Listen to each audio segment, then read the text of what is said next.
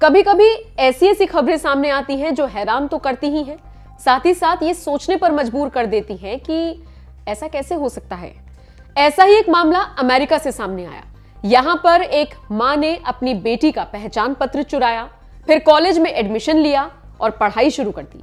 यहाँ तक तो चलिए फिर भी ठीक था, लेकिन इस महिला ने एडमिशन लेने के बाद यंग लड़कों को डेट करना शुरू कर दिया।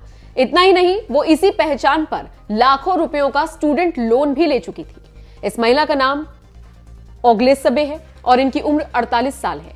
महिला ने जो हरकत की, इसके लिए उन्होंने न सिर्फ़ आसपास के लोगों को चकमा दिया, बल्कि सरकार के साथ भी धोखाधड़ी की।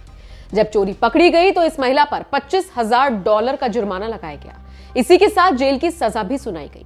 इस महिला ने अपनी बेटी के नाम पर साउथ वेस्ट बेपिस्ट यूनिवर्सिटी में दाखिला लिया। इसके लिए बाकायदा अपनी बेटी का सोशल सिक्योरिटी कार्ड इस्तेमाल किया। महिला ने अपनी बेटी के नाम से ही ड्राइविंग लाइसेंस भी ले रखा था। हैरानी की बात यह है कि कॉलेज में एडमिशन लेने के बाद इस महिला ने खुद से 20 साल छोटे लड़के को डेट करना भी शुरू कर दिया।